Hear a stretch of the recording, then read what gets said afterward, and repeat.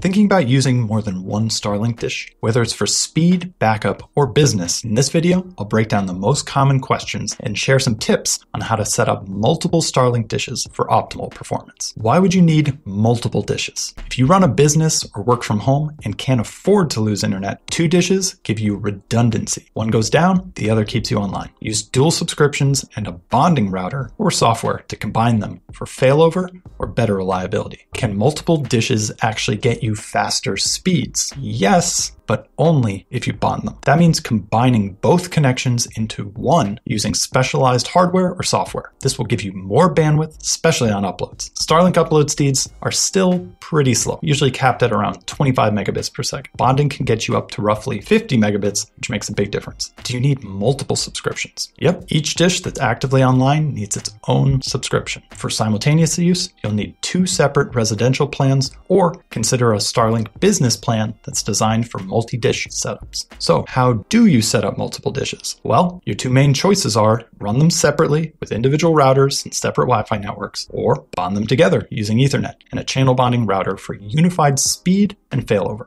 Either way, make sure you space your dishes at least three feet apart to avoid signal interference. Can you mix dish types? For sure. You can mix and match, like a performance dish for speed and a mini for backup. Your bonding setup will manage the speed differences between them just fine. Can you bond Starlink with other internet types? Absolutely. Many users bond Starlink with 4G, 5G, DSL, or even cable for the best reliability, meaning you'll stay online even if one of those providers drops. So, is it worth it to get two Starlink dishes? If you need speed, stability, more bandwidth, or backup internet, it can definitely be worth it. If you found this video helpful, make sure you like, share, leave a comment, and subscribe so we can bring you more tips and tutorials like this.